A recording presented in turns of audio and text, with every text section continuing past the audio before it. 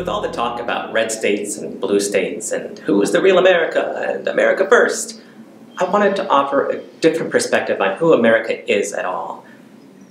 It's a little history lesson about American expansion and the American present by way of a party trick I've been practicing as I finish up my new book about the U.S. territories. So I want to tell our story with a little bit of a different spin than what you're used to. And I want to do it all in five minutes. So here we go. Now this is how we picture the USA, right? It stretches from sea to shining sea, from the prairies of the Midwest, the industry of the Great Lakes, all five of them, historic towns of New England, the big cities of the East Coast, Chesapeake Bay and the Carolinas, Florida and the alligators, Louisiana Delta, kind of hard to draw, Texas and the Rio Grande, and the hippie lands of California and the Pacific Northwest. So that's the USA. It's a bit imperfect, but that's who we are. Now, before Europeans arrived, of course, this was all the home of various indigenous people. Up here in the Northeast, in New York, we have the Seneca. In New Jersey, the Lenape. In Virginia, the Powhatan. In the Carolinas, the Catawba. And in Florida, the Seminoles.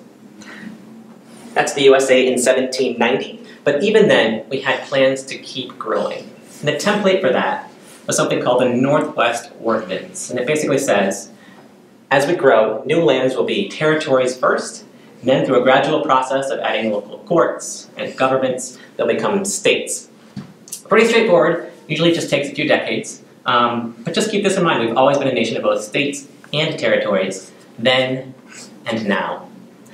And the Founding Fathers bickered about how we should expand, whether we should expand. Thomas Jefferson was a skeptic, that is until he was elected president, and then in 1803, he signs off on the Louisiana Purchase, doubling the size of the USA. Always forget that little bit. Now these questions about expansion and how a territory becomes a state are some of the biggest national issues for decades. In 1844, James Polk is elected president on a promise to annex Texas, which he does through a war with Mexico, and also Oregon Territory, which he does through a treaty with the British. But even as we're growing, the nation is also fracturing, right? A war is coming.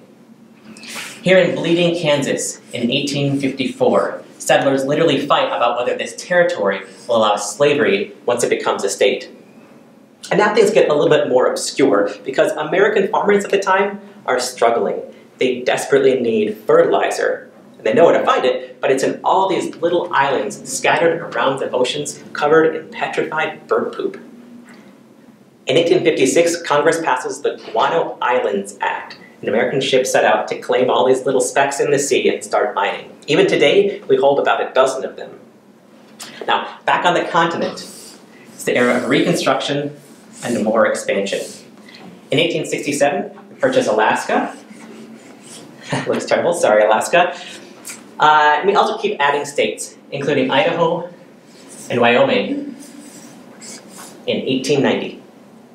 And by this point, we really do stretch from sea to shining sea. But we're still, not, we're still not the global power we want to be. And to achieve that, we look to our European competitors and we decide to follow their lead. We are going to become an empire. In 1893, American businesses violently overthrow the sovereign nation of Hawaii. And in 1898, there's the Spanish-American War, which is brief, but consequential because it marks the end of the Spanish uh, era of dominance and the beginning of ours. From the Spanish, we take Puerto Rico in the Caribbean, as well as the Philippines, sorry, Philippines, that also looks terrible, uh, and the island of Guam. Both of these are in the Western Pacific. In 1900, we take over American Samoa in the South Pacific. And in 1917, we purchase the Danish West Indies, which you know as the U.S. Virgin Islands of St. Thomas, St. John, and St. Croix. In 1941, we lose ground when Japan invades the Aleutian Islands of Alaska as well as the island of Guam, which Japan occupies until 1944, but Uncle Sam comes storming back and also takes over the neighboring Northern Mariana Islands, which become an important uh, military base for the rest of the war. After the war, Philippines become independent, Alaska and Hawaii become states, and in 1976, US, the Northern Marianas become the last territory to join the USA. So that, all of that is who we are. The United States and territories and DC and Guano Islands of America and the Pacific and the Caribbean. Stop the clock.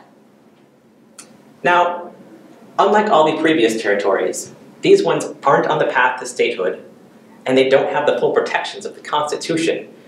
For reasons of politics and xenophobia and a series of Supreme Court cases that are 100 years old and really need to be overturned. But even if we forget about them, even if we don't realize that these are the real America as much as any state, the territories have been so important to our story. Their ports made us an economic and political uh, and military powerhouse, and they've contributed to our pop culture from American Samoa's tattooing traditions to Puerto Rico's salsa music, and their citizens have fought for a nation at rates higher than the states. And uh, even Alexander Hamilton came from St. Croix before moving to the US. The territories put America on the map, and they're still part of our map, even if we forget about them. But without them, you're not seeing the full picture who we are and how we got here.